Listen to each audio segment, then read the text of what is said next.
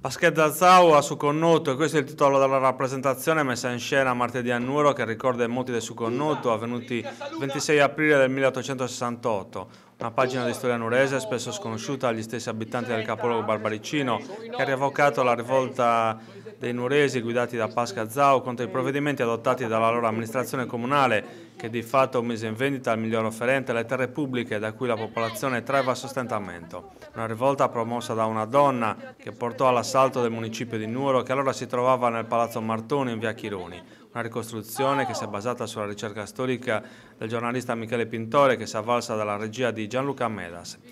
Gli attori protagonisti sono stati Vittoria Marras, che ha impersonato la popolana Pasca Zau, e Marco Moleda, che ha vestito i panni del poeta Salvatore Rubedu, che assistette agli eventi e scrisse dei versi sulla rivolta.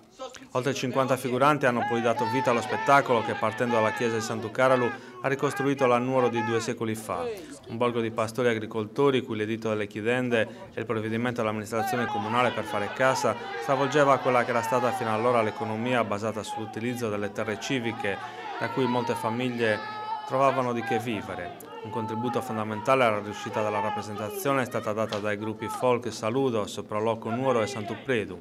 Poi la bravura degli attori ha fatto il resto, rendendo credibile una rievocazione di cui non si parla sui libri di storia che molti nuresi hanno conosciuto solo di recente. Una rappresentazione che sarà riproposta il 26 aprile del prossimo anno, data in cui cade il 150 anniversario di quella che può essere definita una rivoluzione nurese contro la prepotenza dei sovrani sabaudi e la volontà degli amministratori di allora, pronti a piegarsi agli interessi dei più forti, privando la povera gente di quel minimo di sostentamento di cui avevano goduto grazie alle leggi del suo dia